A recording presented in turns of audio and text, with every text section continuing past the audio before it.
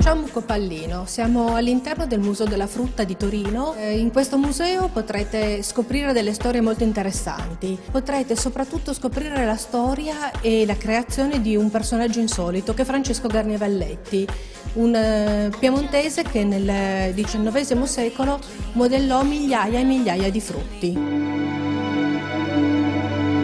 Il museo mostra quasi 1200 tipi di frutti, diversi tra di loro, frutti che oggi purtroppo sono scomparsi.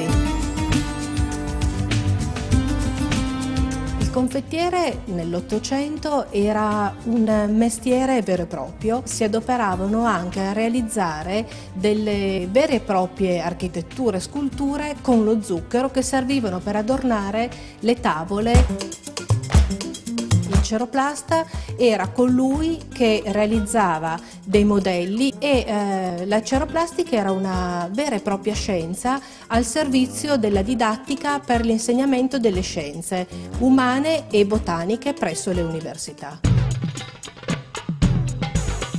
il frutto che preferisco è l'uva, proprio perché malgrado si sia conservata meno bene degli altri frutti, però presenta delle caratteristiche di verosomiglianza incredibili. Basti pensare che dentro ciascun acino ha eh, inserito i semini che si trovano negli acini reali, li ha prima fatti seccare e poi eh, li ha inseriti in ogni acino.